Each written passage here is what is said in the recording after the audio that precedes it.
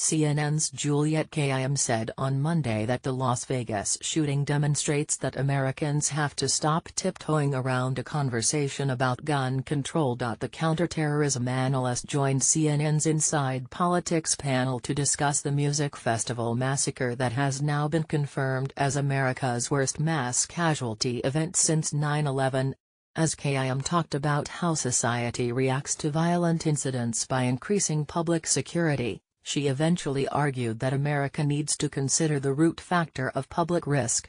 Whether, the shooter, is motivated by ISIS or craziness or something in between, the access issue to weaponry in this country is now a national security issue. It just is.